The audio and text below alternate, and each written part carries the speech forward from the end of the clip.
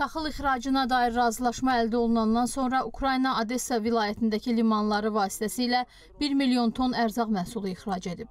Bu açıqlama ilə Ukrayna prezidenti Vladimir Zelenski çıxış edib. Dövlət başçısı bildirib ki, taxılın ixracına dair təşəbbüs çərçivəsində fevralın 24-dən bu yana ilk dəfə olaraq Çernomorsk, Odessa və Yujni limanlarından 1 milyon ton kənd təsərrüfatı məhsulu ixrac edilib. Zelenskinin sözlərinə görə bu təşəbbüs kəskin ərzaq böhranı və qıtlığın qarşısını alır.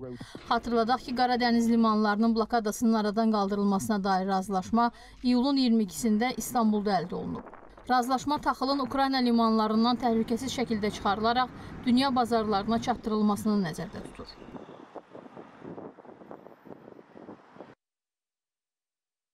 Döyüşlər isə davam edir. Son sutkada Donetsk vilayətində yaşayış məntəqələrinin atəşə tutulması nəticəsində 2 nəfər həlak olub, 12 nəfər yaralanıb.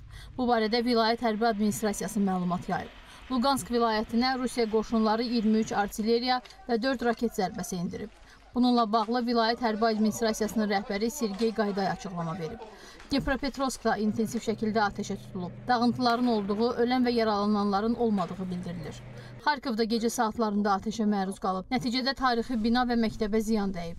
Zaporojye vilayətinə isə 16 raket atılıb. Xəsarət alanlarla bağlı məlumatlar dəqiqləşdirilir. Fərda Abbasova, Ləman Təmirzadə, ASTV xəbər.